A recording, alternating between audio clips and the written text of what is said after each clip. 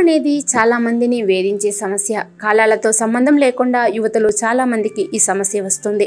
దీనివల్ల వెంట్రుకలు రాలిపోవడం తలలో దురద ఏర్పడడం వంటివి జరుగుతున్నాయి. ఇంకా అనారోగ్యాలు కూడా వస్తున్నాయి. పెరిగి కాలుష్యం కూడా చుండ్రుకు ప్రధాన కారణం అంటున్నారు వైద్యులు. షాంపూలు వాడినా ఎలాంటి ప్రయోజనం పొందని వారు ఎక్కువ మందే ఉన్నారు. కొందరు డాక్టర్ల చుట్టూ తిరుగుతారు కానీ ఫలితం ఉండదు.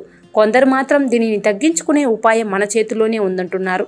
అదేంటంటే యాపిల్ సిడర్ వెనిగర్కి యాంటీ ఫంగల్ గుణాలు ఉంటాయి దీన్ని నేరుగా తలకు అప్లై చేయవచ్చు లేదా ఇతర పదార్థాలతో కలిపి తీసుకోవచ్చు. శరీరంలో పీహెచ్ బ్యాలెన్స్ సరిచేసి వెంట్రుకల కుదుళ్ళను బలపరిచినట్లయితే చుండ్రు సమస్య తగ్గుతుంది. ఇందుకోసం తడిచిన కుదుళ్ళకు బేకింగ్ సోడా పట్టించి మర్దన చేయాలి. కొద్ది నిమిషాల తర్వాత కడిగేసుకోవాలి. ఇలా చేస్తే కుదుళ్ళ దగ్గర సహజ సిద్ధమైన తేమ పోకుండా నిలిచి ఉంటుంది. కలబంద పొడిబారిన కుదుళ్ళకు మాయిశ్చరైజర్లా పనిచేస్తుంది. దీనిలోని యాంటీసెప్టిక్ గుణాలు చుండ్రును పెంచే బ్యాక్టీరియాను నశింపజేస్తుంది. ఇంకా యాస్ప్రైన్లో అసిటైల్ సిలిసిలిక్ యాసిడ్ ఉంటుంది. ఇది బ్యాక్టీరియాను చంపి మృత చర్మాన్ని వదిలిస్తుంది.